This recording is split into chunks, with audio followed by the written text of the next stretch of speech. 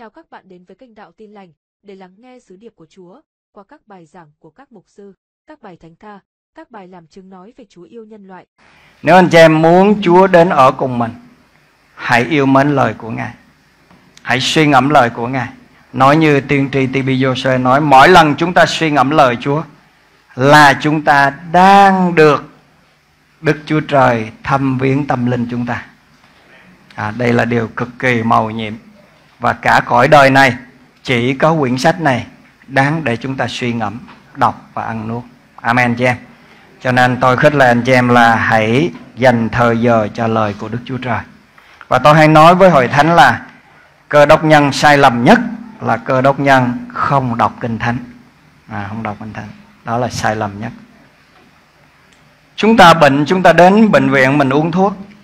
Nhưng để sống khỏe mạnh là chúng ta phải gìn giữ sức khỏe và ăn một ngày ba bữa cho đủ. Phải không ạ? À? Uống thuốc là cần. Nhưng cái cần hơn là ăn uống đầy đủ. À, chúng ta gặp vấn đề chúng ta đến hội thánh để được cầu nguyện. Điều đó không xấu. Nhưng đọc lời Chúa để ăn nuốt nó được khỏe mạnh Điều đó tốt hơn Amen nhé yeah? Phải như vậy mới được Chúng ta không thể nào suốt đời uống thuốc cho nên chúng ta cần có lời Ngài Và buổi sáng hôm nay tôi sẽ có Một chủ đề để chia sẻ với anh chị em à, Tôi gọi là Ba ước mơ cao quý nhất của con người à, Ba ước mơ cao quý nhất của con người Cảm ơn Chúa vì lời của Ngài. Tôi tin rằng à, những lời sắp chia sẻ đây sẽ được Chúa sức giàu để giúp đỡ chúng ta. À, cũng gửi lời chào hết thảy những anh chị em đang theo dõi Hội Thánh Nhà Muôn Dân qua fanpage. Xin Chúa ban phước cho anh chị em. Anh chị em ở đó, chúng tôi ở đây. Nhưng tất cả chúng ta đang kết nối với nhau bởi quyền phép của Đức Thánh Linh.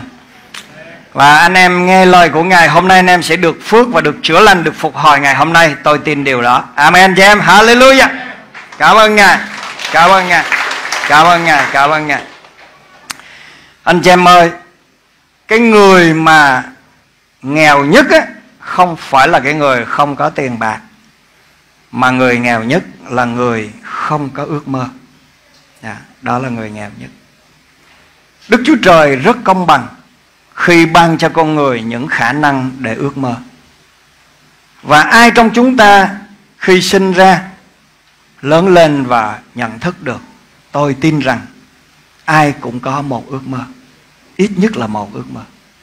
Chỉ có điều, chỉ có điều, đời này và những cái khó khăn rắc rối của cuộc đời này đã làm cho giấc mơ của anh chị em bị ngủ quên hoặc là bị tàn lụi đi trong cuộc sống của mình. Đó là sự thật. Cho nên hôm nay tôi chia sẻ đề tài ba loại ước mơ cao quý nhất của con người nhằm mục đích để khơi gợi lại những gì đã từng có trong anh em hoặc khích lệ cho thêm sức mạnh những gì anh em đang có để chúng ta có thể đạt được những điều mà Đức Chúa Trời muốn thấy trên cuộc đời của mình. Nói như một người hay nói anh chị em, Chúng ta cứ đeo đuổi ước mơ Thì sự thành công sẽ đuổi theo chúng ta Nếu chúng ta muốn đạt được một điều gì đó trong cuộc đời này Chắc chắn điều đó phải ra từ cái ước mơ khát vọng, đam mê của mình. Không có điều gì là ngẫu nhiên. Không có điều gì mà nói rằng, Ô, tự nhiên tôi trở nên giàu có, Tự nhiên tôi trở nên nổi tiếng, Tự nhiên tôi trở nên thế này thế khác. Không có điều gì tự nhiên. Nếu nó có thể xảy ra đi chăng nữa, thì điều đó cũng sẽ đến rồi đi thôi, nó không ở lại với chúng ta. Anh em có thường thấy những người trúng số đề không ạ? Hả? Trúng phát cái là đời lên mây luôn nhưng mà sau một năm là xe đạp không có đi. À, tôi thấy có cái ông ở dưới gò vấp á ông ông ông vậy đó. Lúc mà ông chưa trúng số đề thì ông đi xe dream xịn rồi nhà cửa đồ đàng hoàng. Khi ông trúng 4 tỷ hay ba tỷ mấy đó thì năm sau hỏi lại thì bây giờ ông đi xe đạp. Nhà bán hết luôn. Đó là sự thật. Cho nên nếu chúng ta không sống bởi ước mơ không thành công bởi ước mơ, không đạt được những điều trên đời này bằng cái khải tượng và ước mơ khát vọng của mình, thì những điều chợt đến rồi nó cũng chợt đi thôi amen, chị em cho nên hôm nay tôi muốn nói với anh chị em rằng, cả cuộc đời này, chúng ta cần phải đặt để xây dựng trên những ước ao mà chính Đức Chúa Trời đã đặt vào lòng ta khi chúng ta có mặt trên cõi đời này. Điều đó quan trọng lắm, anh chị em. Cho nên tôi sử dụng Kinh Thánh để nói cho chúng ta biết có ba cái loại ước mơ mà mỗi một chúng ta cần phải tiến tới. À, tôi cũng đi qua những điều này và tôi cảm nhận rằng cần phải chia sẻ nó cho anh chị em. À, nói về ước mơ thì anh chị em đừng nghĩ rằng ước mơ chỉ dành cho tuổi trẻ hay là ước mơ chỉ dành cho những người còn cơ hội có sức khỏe tôi không nghĩ vậy. Không nghĩ vậy. Không có điều gì là muộn, chỉ muộn cho những người không dám bắt đầu mà thôi. Amen chứ môi xe 80 tuổi rồi. Ông bắt đầu cầm cây gậy để dẫn dân tộc do thái ra khỏi ai cập. Và chúa đã cho ông thêm 40 năm nữa để hoàn thành ước mơ từ niên thiếu của ông. Cho nên không có gì là muộn. Nếu ngày hôm nay anh em còn đang tuổi trẻ hãy cảm tạ chúa vì anh em có một quỹ thời gian rất lớn để sống cho đức chúa trời với những ước mơ của mình. Nhưng nếu ngày hôm nay anh em đã luống tuổi, thì cũng hãy tin tôi đây khi chúng ta dám bắt đầu với ước mơ của mình, thành công sẽ gõ cửa cho cuộc đời của chúng ta. Đó là sự thật. Anh em có đọc cuộc đời của cái người sáng lập KFC không? Đọc cái đọc pháo à tôi rất là được khích lệ vì câu chuyện của người này. Ông thất bại tất cả, nhưng mà đến năm 65 tuổi, ông nghĩ ra món gà rán ông đi bán và bây giờ ông thành KFC đấy. Nổi tiếng khắp thế giới. Có gì muộn đâu. Cho nên, chị em ơi, bây giờ chúng ta sẽ đọc một đoạn kinh thánh, vài đoạn kinh thánh để chúng ta bắt đầu biết được thế nào là ba loại ước mơ cao quý. Tại sao phải dùng từ cao quý? Bởi vì trên đời này có rất là nhiều khát vọng, nhiều đam mê, nhiều ước mơ. Nhưng mà không phải ước mơ nào cũng cao quý. Không phải ước mơ nào cũng đem đến cho cuộc đời chúng ta sự thỏa mãn mãn nguyện khi mình nhắm mắt lìa cõi đời này. Và hôm nay chúng ta nói ba ước mơ cao quý này ở trong kinh thánh. Tôi sẽ bắt đầu cùng với anh chị em ở trong sách Luca chương 19 có một câu chuyện rất là hay. Và tôi bắt đầu với câu chuyện này cùng nhau để mình à, học hỏi lời Chúa. Luca chương 18 19 đó nó có một câu chuyện về người mù. À, tôi bắt đầu với ước mơ đầu tiên nha. Tôi đọc anh chị em nghe. Đức Chúa Giêsu đến gần thành Jericho từ 30 câu 35 câu chương 18. Có một người đuôi ngồi xin bên đường, nghe đoàn dân đi qua, bèn hỏi việc gì đó. Người ta trả lời rằng ấy là Giêsu người Nazareth đi qua. Người đuôi bèn kêu lên rằng lạy Giêsu con vua David xin thương xót tôi cùng. Những kẻ đi trước rầy người nín đi, xong người càng kêu lớn tiếng hơn nữa mà rằng lạy con vua David xin thương xót tôi cùng. Đức Chúa Giêsu dừng lại truyền đem người đến. Khi người đuôi lại gần thì Ngài hỏi rằng Người muốn ta làm chi chó Thưa rằng lạy Chúa xin cho tôi được sáng mắt lại Đức Chúa Giêsu phán rằng hãy sáng mắt lại đức tin của ngươi đã chữa lành ngươi. Tức thì người sáng mắt, đi theo Đức Chúa Giêsu ngợi khen Đức Chúa Trời. Hết thảy dân chúng thấy vậy, đều ngợi khen Đức Chúa Trời. Đây là câu chuyện đầu tiên. Tôi được cảm động để chia sẻ anh em về một loại ước mơ đầu tiên. Tôi gọi đó là ước mơ được phục hồi. Ước mơ được phục hồi. Tôi không biết tất cả anh chị em ngồi ở dưới chúng ta có cần đức chúa trời phục hồi điều gì không? Sức khỏe, tài chánh, gia đình, tri thức, bằng cấp, địa vị xã hội, danh tiếng. Có thể một lúc nào đó chúng ta đã đánh mất nó. Và hôm nay chúng ta cần đức chúa trời phục hồi. Và điều đó cần một khát vọng. Điều đó cần một ước mơ. Không gì là ngẫu nhiên. Nếu anh em đang bị bệnh, anh em đang bị kiệt quệ về tài chánh, anh em đang bị phá sản, gia đình anh em đang trên bờ vực của sự chia ly, thì anh em ơi, đừng nghĩ rằng mình ngồi đó rồi tự nhiên mọi sự nó phục hồi. Không bao giờ đâu. Thế giới này đang sống dưới một cái xu hướng là mọi sự tan rã dần chứ không phải mọi sự đều được dựng nên. Anh em có amen với điều đó không? Nếu chúng ta không dám đặt ước mơ để rồi mọi sự trên cõi đời của mình, cuộc đời mình được phục hồi, thì hiếm lắm những cơ hội để chúng ta được phục hồi. Ở đây có một người mù, một người bị đuôi và còn ăn mày nữa. Ông ngồi ở bên đường. Anh em biết cái thời đó đó.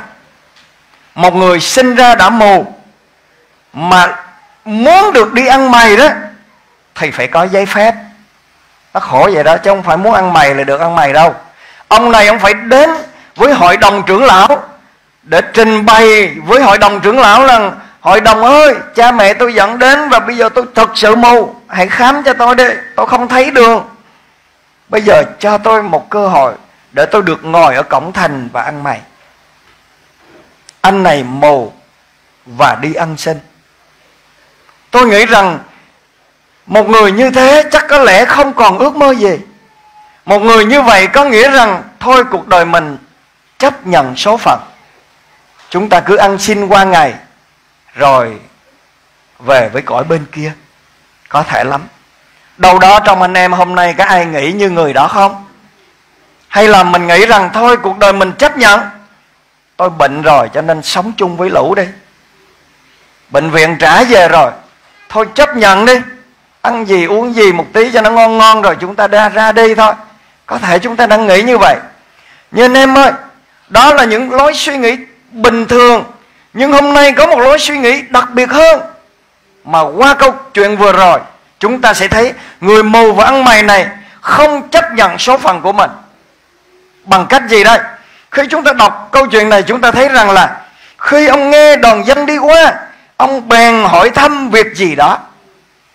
Anh em suy nghĩ một chút về về điểm này. Nếu người mù này mà đã chấp nhận số phận, thì đoàn dân đi qua, ông lại càng phải yên lặng để xin được nhiều tiền hơn. Chứ hỏi thăm làm gì? Hỏi thăm biết ông này vẫn đang đang bình thường nên ta chẳng cho đồng nào. Đâu được. Khi mà đoàn dân đi qua, thì ông phải giả vờ đau khổ, phải không ạ? Cúi gầm xuống à, rồi đau khổ. Nhiều hơn để chia cái bị ra cho tôi nhiều hơn. Nếu ông như vậy nhưng không. Ông đang ông ông mù ông không thấy đường nhưng ông la lên ông hỏi mọi người cái gì đó. Điều gì đang đến mà rầm rầm như vậy? Tôi nghĩ rằng câu hỏi này ông đã hỏi hàng trăm lần. Ông đã hỏi hàng ngàn lần. Bởi vì thành phố Jericho là nơi là nơi giao thương là nơi mà người ta đi qua và nơi sầm uất. Cho nên chắc chắn có rất nhiều đoàn dân đi qua. Và có một buổi nào đó ông hỏi thăm và người ta nói rằng đây là một đoàn buôn người Ai Cập đi qua. Ô đây là một lái buôn đang đi qua. Đây là một đoàn người đang uh, đi lên thành Jerusalem để uh, tế lễ vân vân và vân vân. Nhưng những lần khi ông nghe câu trả lời đó thì ông lại im lặng để tiếp tục sống với ước mơ của mình. Anh em biết ông ước mơ điều gì không? Ông ước mơ rằng có một ngày ông hỏi câu đó Và người ta sẽ trả lời ông rằng Giêsu Nazareth đang đi ngang qua đây. Ông ước mơ câu đó. Ông chờ đợi câu trả lời đó. Ông đang ngày đêm ấp ủ với điều đó. Và anh em biết không, Đức Chúa Trời không làm cho người biết ước mơ thất vọng bao giờ. Và ngày đó đã đến. Cái ngày mà đoàn dân đi qua cái ngày mà Chúa Giêsu đi đến đó thì ông cũng hỏi lại câu này và người ta nói với ông rằng Giêsu Nazareth đang đi qua. Và bắt đầu ông la lên. Lạy Giêsu con David, hãy thương xót tôi. Anh chị em có suy nghĩ gì về điều này? Tại sao ông không la lên Giêsu Nazareth thương xót tôi? Mà ông lại la lên Giêsu con David thương xót tôi. Sao ngược ngạo vậy? Không ạ à? có ông quý đi qua. Ông hùng ơi, giúp tôi. Sao buồn cười? Mà ông này sao buồn cười thế đúng không? Tại sao lại như vậy? Ở đây cho chúng ta một bài học, anh chị em. Khi mình dám sống với ước mơ, mình sẽ nhận được sự mặc khải từ đức chúa trời khi mình dám khát vọng để gặp gỡ ngài ngài sẽ bày tỏ cho chúng ta biết ngài là ai thật sự.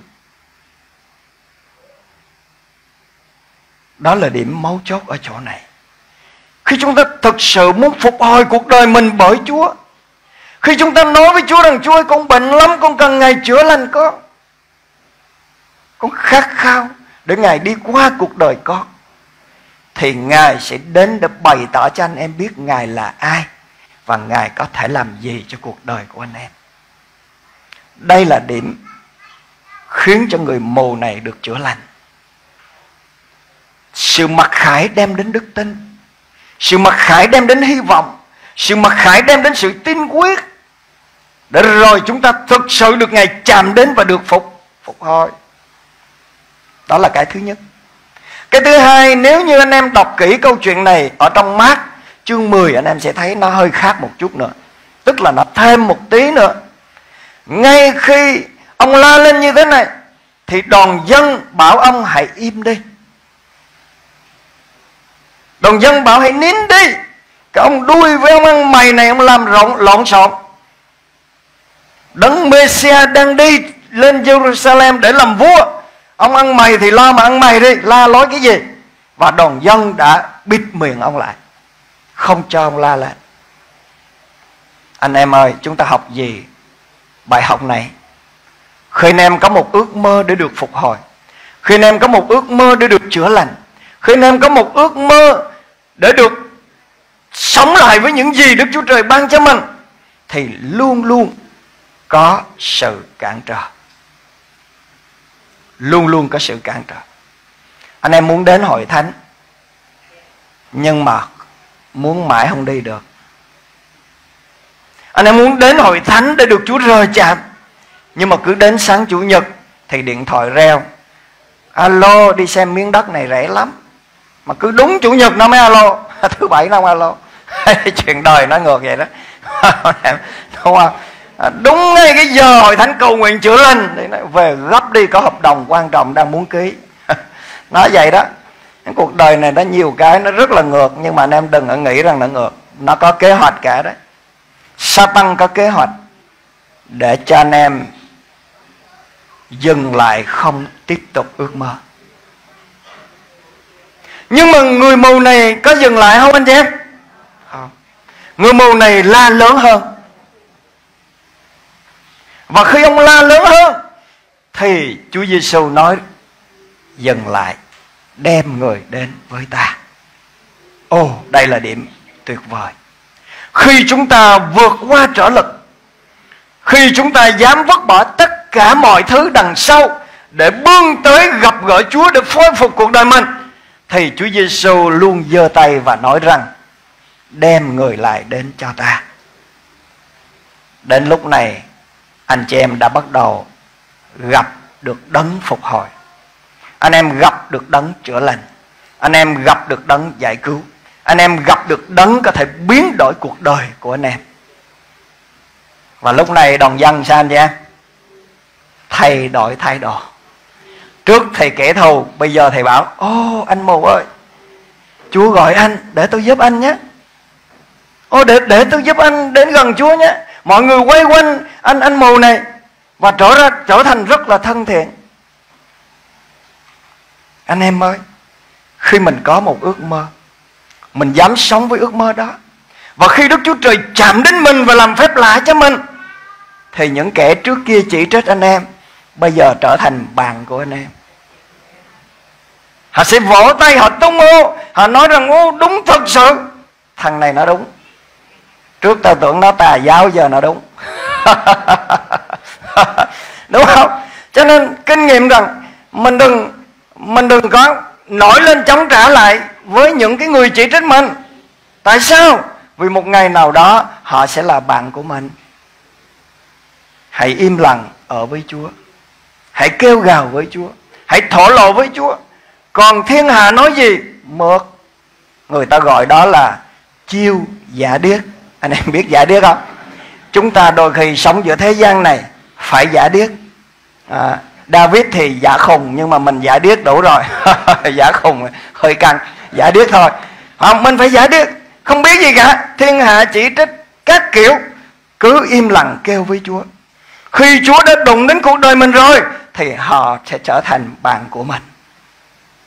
Họ sẽ thấy Đức Chúa Trời trên cuộc đời mình. Họ sẽ thấy phép lạ Ngài làm qua cuộc đời mình. Họ sẽ thấy sự phục hồi trên cuộc sống mình. Họ sẽ thấy tài chánh được phục hồi, Sức khỏe được phục hồi, Gia đình được phục hồi Và họ sẽ vỗ tay họ nói, đúng rồi, Thằng này nó đi là đúng đạo rồi. Chúa tao tưởng nó đi theo ta. Đó là cái bài học ngày hôm nay. Nếu chúng ta đọc trong mát chương 10 Chúng ta sẽ thấy có một điểm Rất là đặc biệt ở đây. Làm thế nào để mình chạm được? Làm thế nào để ước mơ Được phục hồi của mình trở thành sự thật? Anh em hãy đọc mát chương 10 chúng ta sẽ thấy nha. Điều này rất là quan trọng. À, mát chương 10 chép như thế này anh chị em. Cũng câu chuyện đó thôi. À, cũng câu chuyện đó. À, tôi đọc từ câu 48 có nhiều kẻ rầy người bảo nín đi. Xong người lại kêu lớn hơn nữa rằng hỡi con vua David xin thương xót tới cùng. Đức Chúa Giêsu dừng lại bèn phán rằng hãy kêu người đến. Chúng kêu người mù đến mà nói rằng hãy vững lòng, đứng dậy đi, Ngài đã gọi người. Câu 50. Người mù bỏ áo ngòi bước tới cùng Đức Chúa Giêsu. Đây là điểm mà tôi muốn chia sẻ cho anh chị em. Làm sao để ước mơ phục hồi được thành sự thật? Anh em biết áo ngòi của ông ông mù này là áo gì không?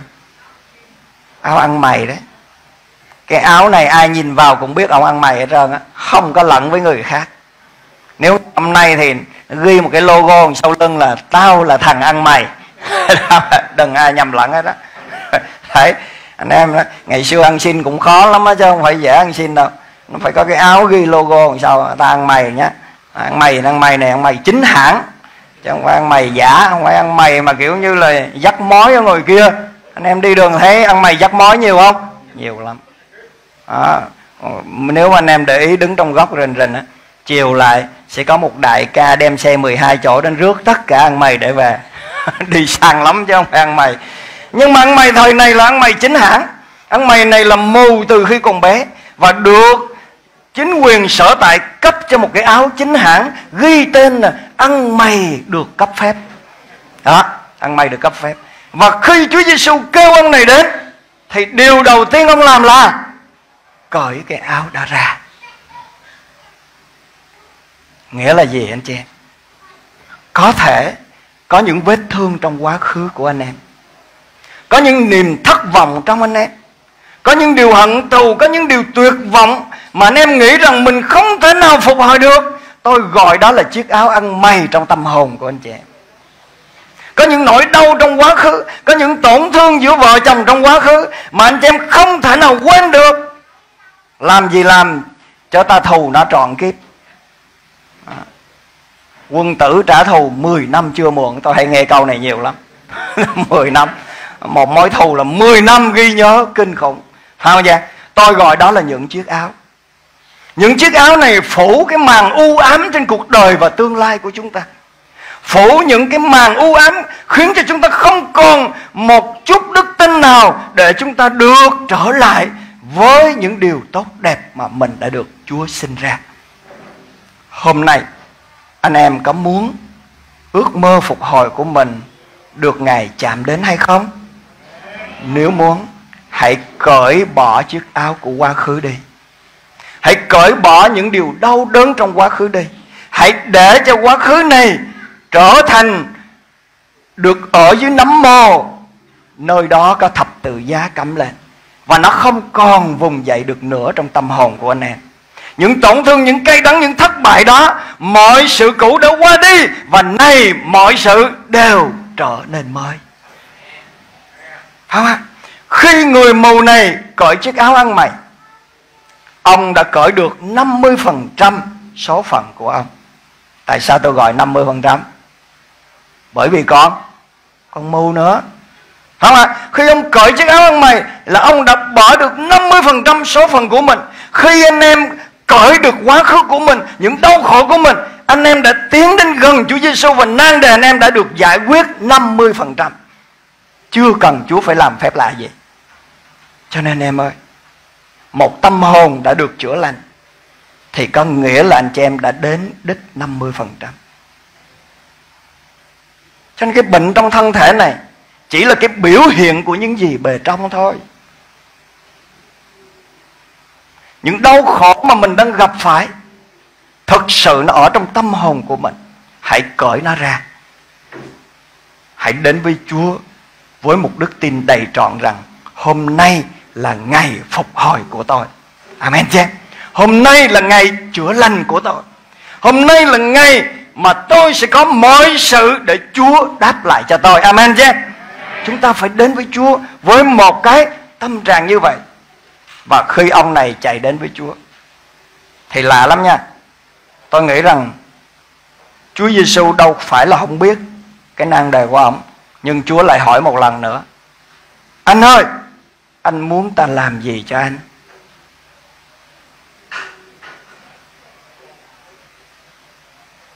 Cho nên tôi mới gọi đó là ước mơ. Một người thật sự có ước mơ, người đó sẽ nói chính xác người đó muốn cái gì. Còn người không có ước mơ mà Chúa hỏi câu này thì ảnh sẽ trả lời lạy Chúa con muốn đủ thứ. Đúng không?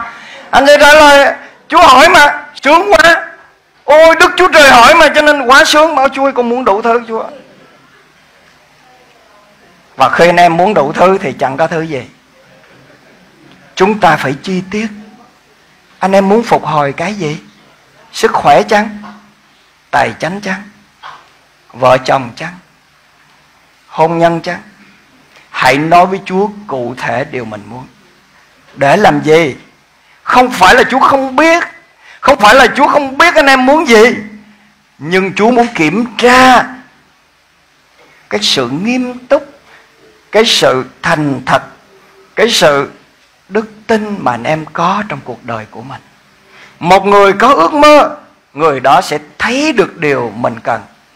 Một người có ước mơ, người đó sẽ biết chính xác mình cần điều gì nơi đức chúa trời. Và đây tôi gọi là đức tin. Không có đức tin, không thể nào ở cho đẹp lòng chúa.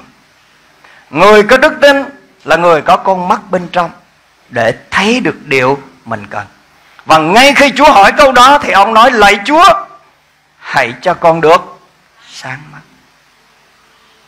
Sao ông không bồi thêm cho một câu nữa là, Và cho con hết ăn mày anh chị em? Tôi cũng suy nghĩ điều này.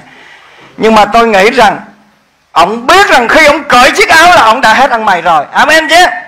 Cho nên mình phải tin điều đó. Khi anh em thật sự tha thứ trong lòng, Cởi bỏ trong lòng, chôn vùi quá khứ, Thì anh em đã được tự do rồi. Bây giờ chỉ còn Chúa rờ chạm nữa thôi. Và khi Chúa hỏi và ông hỏi, Ông trả lời là, Lạy Chúa cho con được sáng mắt. Và lạ lùng thay nha, Chúa không chạm vào người này. Chúa không đặt tay người này. Chúa không không nhỏ nước ờ, miếng xuống đất Hòa bùn trét vào mắt người này, Không làm gì cả. Đúng không? Chúa chỉ nói rằng, Đức tin người đã chữa lành người Và người mù lập tức bí quyết là gì anh chị em? Được tiền. tại sao anh em được chữa lành? Tại sao anh anh, anh hồ văn việt anh được chữa lành? Bởi vì anh ấy có đức tin. Nguồn điện đã sẵn rồi. Bây giờ chỉ cần cắm dây điện vô là điện sáng thôi. Chúng ta không cần kêu gào rằng là chúa ơi chúa hỏi nữa. Nguồn điện có rồi. Chúa hiện diện ở đây rồi. Chúa Giêsu đang ở đây, anh em có tin điều đó Chỉ cần đức tin cắm vào phết cắm Là chúng ta đã nhận lấy phép lạ của Ngài. Không có gì gọi là khó khăn ở đây. Đôi khi chúng ta quá phức tạp hóa vấn đề, Nhưng thật sự vấn đề rất đơn giản. Đơn giản ở chỗ gì? Chúa Giêsu đã chu cấp cho thế giới này mọi thứ về sự cứu rỗi, chữa lành, phục hồi, tài chánh, bình an, vui mừng, thánh sạch, công bình, yên vui, tất cả mọi thứ rồi. Bây giờ muốn nhận lãnh, hãy cắm đức tin của anh em vào. Ờ, anh em phải tin.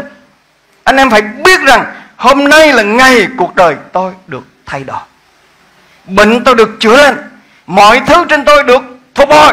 Và ngay khi Chúa phán hay là người của Đức Chúa Trời nói, anh đã được lành, anh đã được phục hồi, hãy ngợi khen Chúa đi. Chúa đang làm điều đó. Và Chúa nói rằng, đức tin con đã chữa lành con.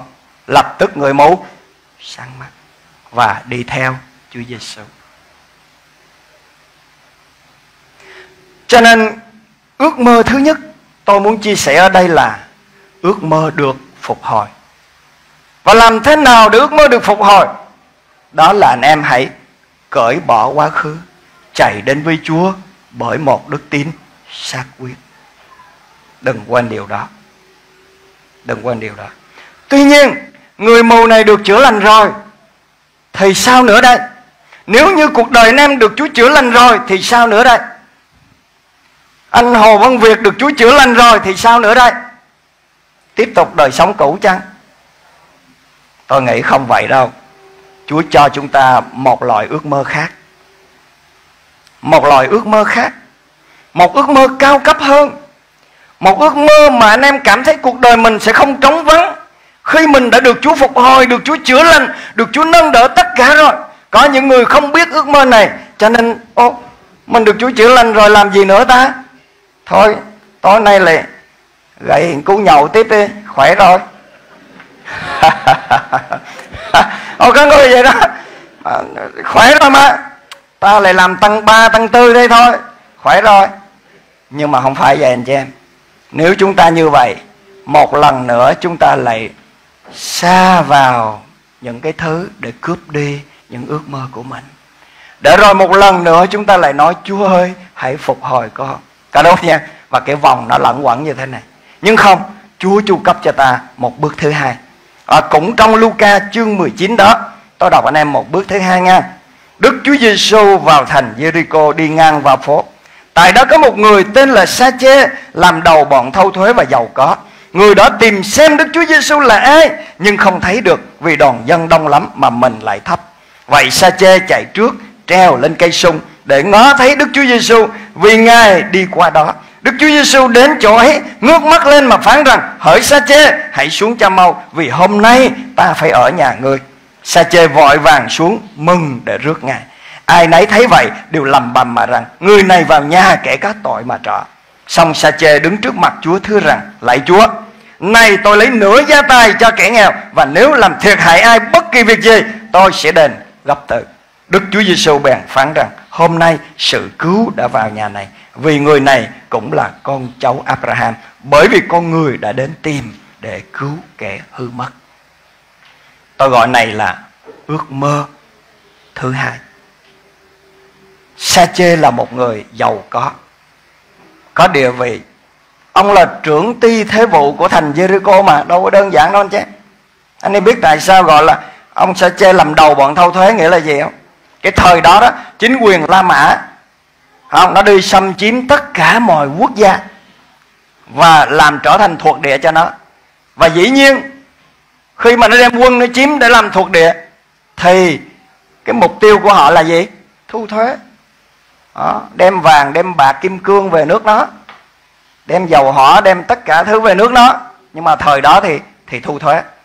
Thì để mà thu thuế được á thì họ phải dùng người địa phương à, chứ còn quân lính ở xa đến không biết là tập tục ở đó thì rất khó và chống đối nữa cho nên phải dùng người địa phương. Và chính quyền La Mã tuyển tuyển chọn.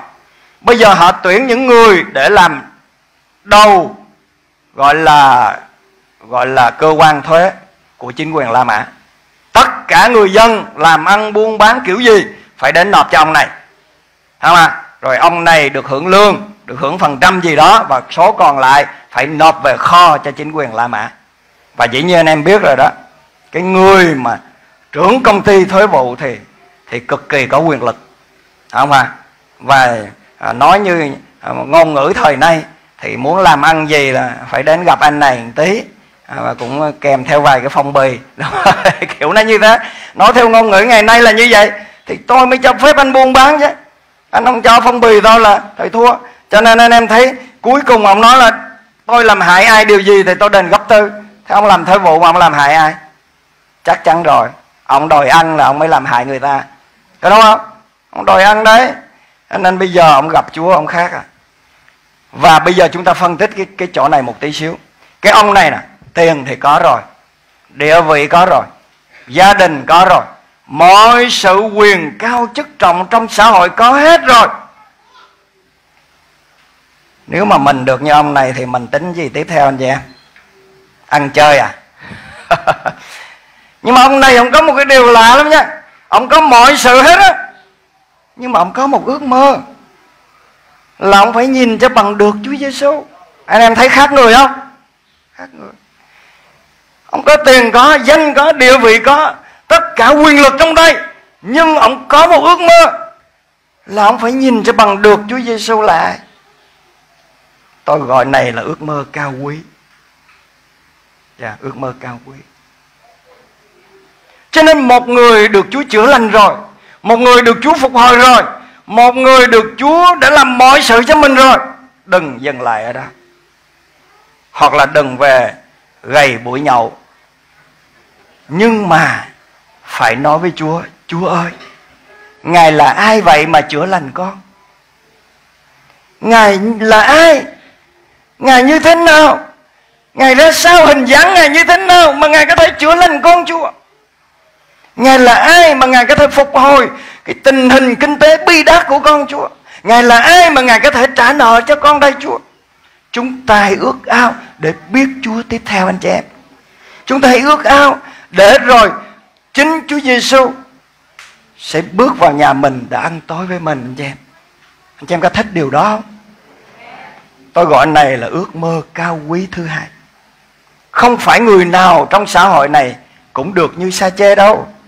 Không phải người nào cũng có ước ao giống sa chê đâu. Thường thì người ta có tiền, có quyền. Người ta ước những cái thứ tùm lum tùm la chứ người ta không ước thứ này. Có tiền, có quyền thì người ta ước đi du lịch. Người ta ước đi phượt. Người ta ước thử đủ thứ. Phải không ạ? Cho nó biết nhưng mà ông sa chê này, ông có một ước ao lạ lắm muốn thấy chúa. Muốn thấy chúa. Và như nãy tôi nói, không phải muốn thấy chúa là dễ đâu. Không dễ đâu. Lúc nào cũng có một đoàn dân xung quanh chúa. Lúc nào cũng có những ngăn trở. Và ông này thì lùn có thể ông lùn hơn tôi đó tới đây rồi không à ông đâu thấy đâu không thấy ông cứ đi đến đây mà. Bây giờ chúa là ai? Bảy ngàn người, mười ngàn người cứ bao xung quanh ông không thể thấy được. Nhưng mà ông vẫn ước mơ. Ông không thấy được, nhưng mà ông vẫn nói trong lòng, chúa ơi, con muốn thấy ngài. Làm sao để thấy ngài? Thì tự nhiên một ý tưởng lại đến. Tôi nhắc lại, ước mơ luôn dẫn chúng ta đến sự mặc khải đổi đời. Amen cho em Hãy nhớ câu đó. Nếu chúng ta dám ước mơ Lập tức Đức Chúa Trời mặc khải cho chúng ta. Nếu chúng ta dám khát khao Lập tức Đức Chúa Trời chỉ lối cho chúng ta. Nếu chúng ta dám Để mà trình tất cả mọi điều khao khát trong lòng mình cho Ngài Ngài sẽ đến thăm viếng và chỉ cho chúng ta cách. Ông này lùn lắm Nhưng mà Chúa phán cho ông một lời. Leo lên cây sung kia ngó xuống. À, Rất đơn giản ha Mà không phải ai cũng cũng nghĩ ra được cái trò này à, leo cây sung đó xuống. Nhưng anh em ơi cái này nó cũng không phải đơn giản đâu. Đơn giản với mình thôi nhưng mà với sa chê không đơn giản. Anh em có thấy không ông chủ tịch thành phố Hồ Chí Minh mà trèo lên cây sung bao giờ chưa? Chưa bao giờ thấy đúng không? Mà tôi nghĩ cũng không bao giờ có. Một người có địa vị có quyền thế. Một người có danh vọng có tiền tài người ta không làm những cái chuyện gọi là ói âm như thế này. Vì sao? Vì con người ta có cái sĩ diện của người ta. Amen chứ? Có cái sĩ diện. Ai không có sĩ diện hết đó mà người càng cao thì sĩ diện càng lớn. Mà sĩ diện càng lớn đó thì cơ hội gặp Chúa Giêsu càng ít đi. Tỷ lệ thuận, tỷ lệ nghịch chứ? Tỷ lệ nghịch. Sĩ diện càng lớn thì cơ hội gặp Chúa càng ít. Cho nên em thấy trong hội thánh mình đâu có người có nhiều quyền chức ở đây. Hội thánh mình đâu có nhiều tỷ phú, triệu phú ở đây. toàn là người thở oxy không à. tôi tôi cũng từng, tôi cũng từng thở oxy rồi đến với Chúa các bạn ạ tất cả chúng ta đã từng thở oxy và chúng ta tìm đến với Chúa chuyện bình thường, đó là sự thật nhưng mà Chúa Chúa không rút ống thở của chúng ta là may rồi. Đúng không cha không rút ống thở là may rồi. Và ở đây ông sa chê này là một người rất đặc biệt. Ông có quyền, có chức. Nhưng mà ông sẵn sàng sáng chép bỏ cái sĩ diện của mình đi. Ô, tôi gọi này là ước mơ cao quý. Tôi gọi này là khát vọng cao quý bởi vì nó hiếm. Nó hiếm. Những triệu phú, những tỷ phú những con người có thế lực trong xã hội mà bỏ sĩ diện mình đi để khao khát gặp Chúa Giêsu là một ước mơ cao quý nhất trên đời này. Và Đức Chúa Trời cực kỳ hài lòng vì những ước mơ đó. Cực kỳ hài lòng luôn. Ngay khi một người bỏ cái kiêu ngạo của mình, hạ lòng mình xuống để gặp gỡ Chúa, Chúa hài lòng liền. Bởi vì Kinh Thánh chép, Ngài chống cự kẻ kiêu ngạo, Nhưng Ngài ban ơn cho người khiêm nhường. Tôi nghĩ Sa Chê là người khiêm nhường. Ông khiêm nhường bởi vì ông có một khát vọng. Ông khiêm nhường bởi vì ông quá ước ao để gặp gỡ Chúa. Ông khiêm nhường bởi vì ông biết Những tiền tài địa vị danh vọng này Không là gì so với con Đức Chúa Trời quyền phép đang đứng trước mặt. Anh em hôm nay có thấy Chúa Giêsu quý hơn nhà cửa bất động sản không? Anh em có thấy Chúa Giêsu quý hơn tiền bạc trong ngân hàng của mình không? Anh em có thấy Chúa Giêsu quý hơn tất cả mọi địa vị danh vọng bằng cấp mà mình có không? Nếu thật sự như vậy, thì anh em thật sự là người được phước của Chúa. Vậy anh em chắc chắn sẽ được Chúa Giêsu vào nhà ăn tối cùng. Vì Chúa chỉ kết bạn với người khiêm nhường mà thôi. Người khiêm nhường là làm bạn với Đức Chúa Trời. Người khiêm nhường là người được ơn của Đức Chúa Trời. Người khiêm nhường là người được gọi là tôi tớ của Đức Chúa Trời. Và Chúa đã bước vào ăn tối với sa chê. Chúa không quan trọng ai đã chỉ trích Ngài. Người ta chỉ trích Chúa đấy. Người ta nói, Chúa là đấng thánh mà đi vô ăn ăn tối với cái người tội lỗi này. Người đè đầu cởi cổ người khác. Nhưng Chúa không quan trọng. Vì chúng ta, Chúa chịu tất cả mọi điều Để cho chúng ta được gặp gỡ Ngài.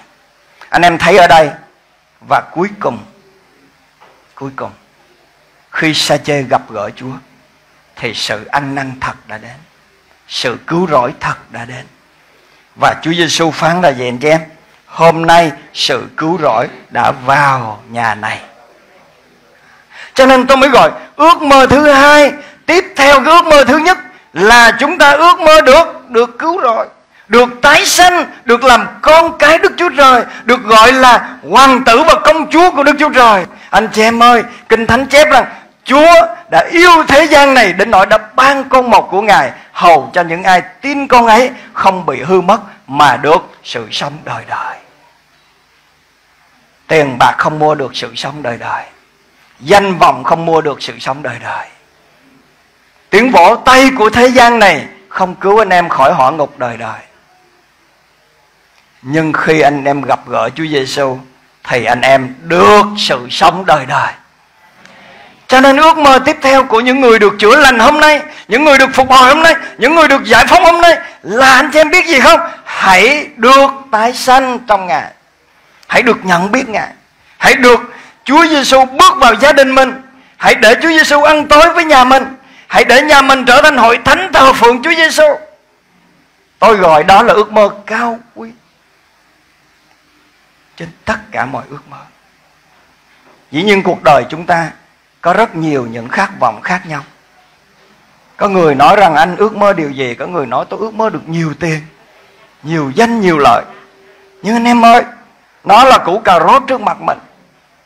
Anh em biết củ cà rốt không? Tức là mình chạy theo nó, nhưng mà mình đi tới thì nó lại đi tiếp. Cả đời mình đeo đuổi những điều này, nhưng có khi mình chụp được nó rồi, thì lại mình thấy được muốn nhiều hơn. Không bao giờ thỏa nguyện, không bao giờ cảm thấy hài lòng, không bao giờ cảm thấy cuộc đời mình tràn đầy ý nghĩa. Nhưng ở đây sa chê là một người có tất cả nhưng khi ông gặp gỡ Chúa Giêsu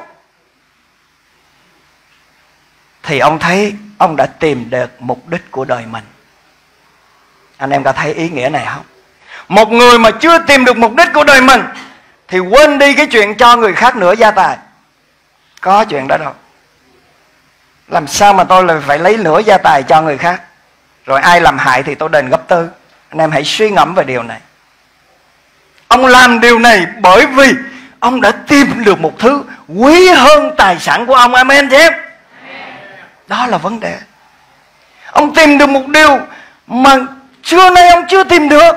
Ông tìm được một điều mà xưa nay ông nằm, ông suy nghĩ, ông bảo bây giờ tiền mình có, danh mình có, địa vị mình có, rồi cái gì tiếp theo nữa? Ông trả lời được, nhưng hôm nay ông trả lời được.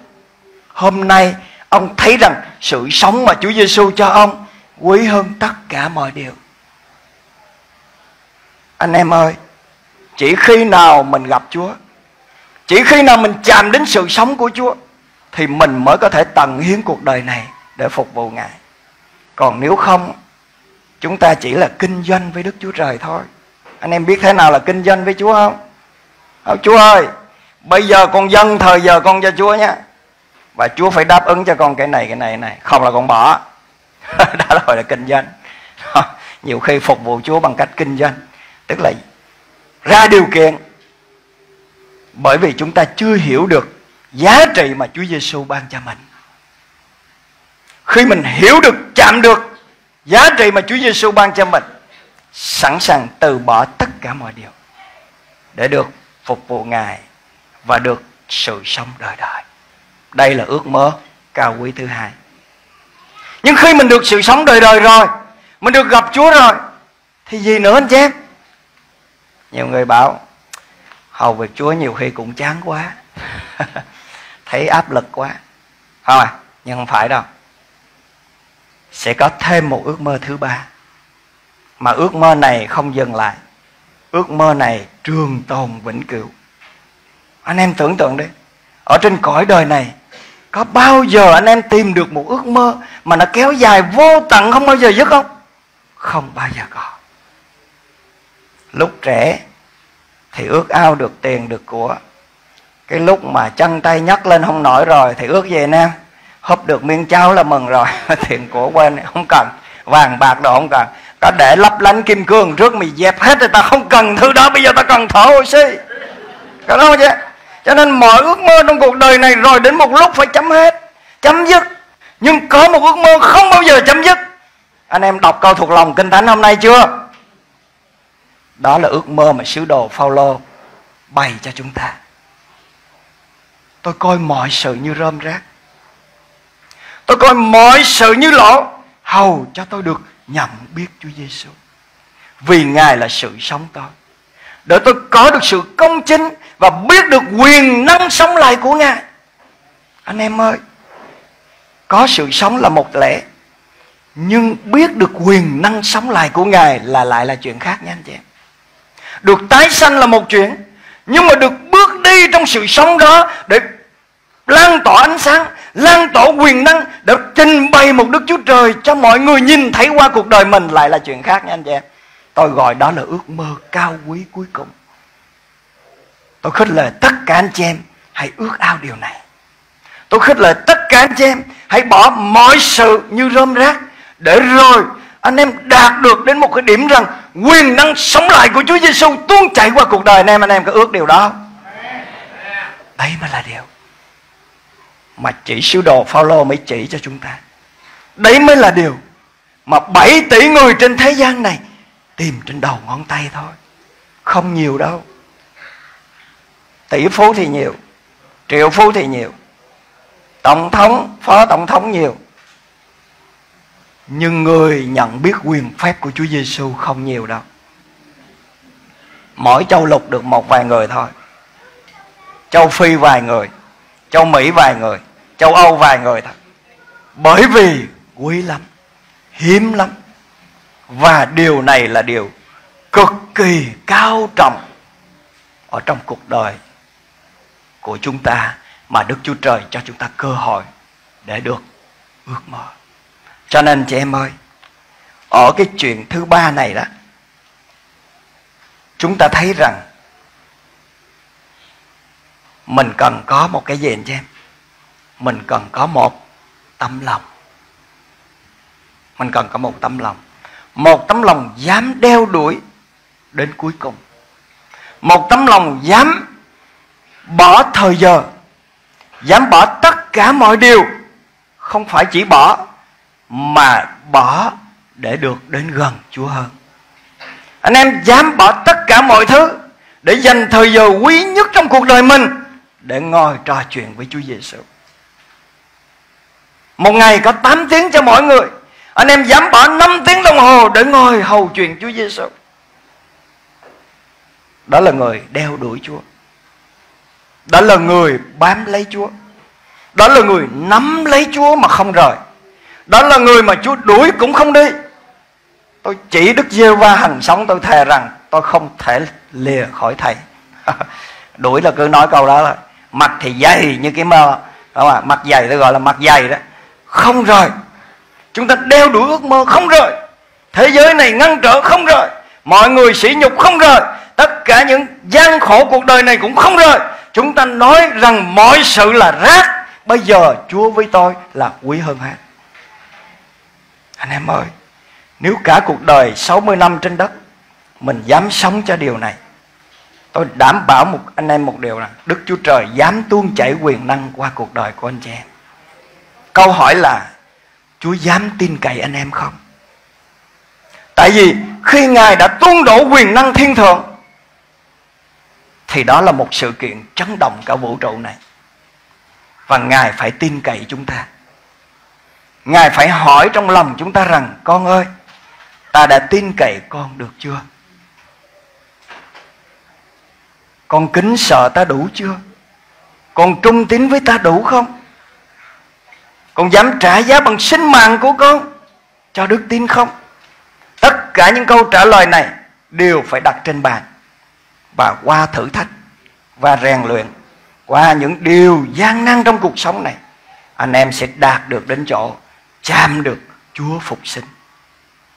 Đức tin mà không có thử thách là đức tin đó chưa xài được. Phải có thử thách để khiến cho đức tin chúng ta được hoàn thiện. Và bởi đức tin hoàn thiện đó, chúng ta nắm bắt được Chúa. Cho nên câu Kinh Thánh thuộc lòng hôm nay đó là ước mơ thứ ba của chúng ta. Anh em nắm được điều tôi chia sẻ ha. Ước mơ thứ nhất là gì anh Giang? Được phục hồi. Ước mơ thứ hai là gì anh Giang? Được cứu rỗi tái sanh.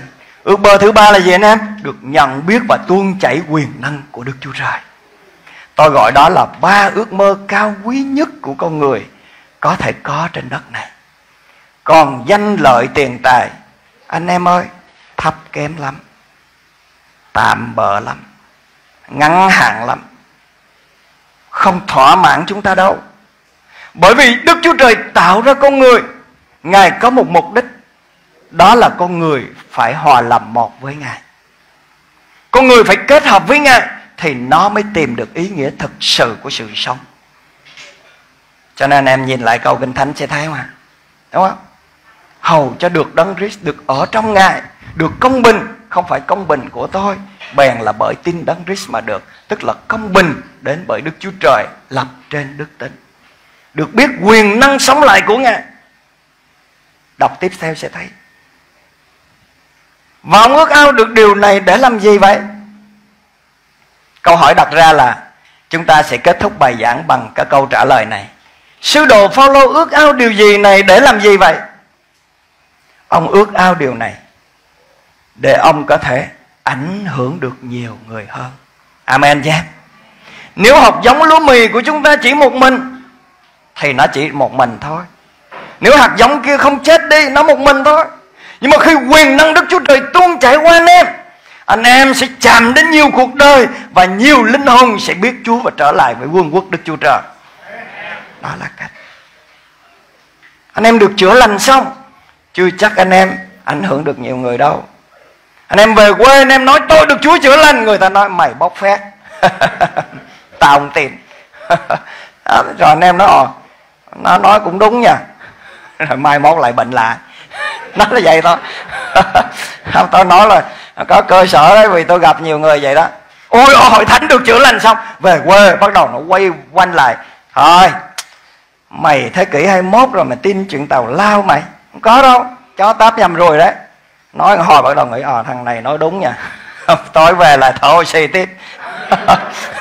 Đấy cho nên chúng ta được chữa lành không ảnh hưởng được ai chúng ta được tái sanh cũng không ảnh hưởng được ai. Nhưng mà khi quyền năng chảy qua cuộc đời chúng ta, người ta sẽ đến trước anh em và xin tin nhận chúa. Đó là điều đó. Cảm ơn chúa về điều đó. Cho nên em ơi, có ba ước mơ này, hãy đeo đuổi nó. Đừng dừng lại ở thứ nhất. Đừng dừng lại ở thứ hai. Hãy kết thúc nó ở thứ ba. Và ước mơ thứ ba là ước mơ kéo dài sang anh em đời đời khi lên thiên đàng, anh em còn phải biết chúa nữa. Chúa là vô tận. Đừng nghĩ rằng biết chúa là đủ không có gì là đủ anh em sẽ sống với ngài đời đời và biết ngài đời đời, ước ao biết ngài đời đời. Và điều đó khiến cho anh em mãn nguyện liên tục liên tục liên tục liên tục liên tục. Anh em có cảm giác được khi mình sống trong cái niềm vui mà nó kéo dài mãi mãi không? Có một ngày nào đó anh em về nhà mà hôm nay tôi vui quá quá vui đi và anh em muốn cái niềm vui đó nó làm sao? Kéo dài. Nhưng mà ngày mai thì trứng khón nó màu đỏ nó xuống cho nên lại lại buồn. Nó khổ vậy. Nó xanh thì nó vui mà nó đỏ thì lại lại buồn. Hôm qua tôi đi nhóm tôi thấy có người anh em chia sẻ có một cái chị kia, chị vậy đó. Anh, người anh em này đi đi dạy cho. Và người anh em này thấy, ôi, sao hôm nay chị vui nhỉ? Và ờ hôm nay chị vui vì trứng khón nó xanh em à. Rồi hôm sau anh nó đi dạy sao hôm nay mặt mày chị tối xăm đấy. Hôm nay nó đỏ chét em ơi. Khổ. cuộc đời mình nó khổ lắm.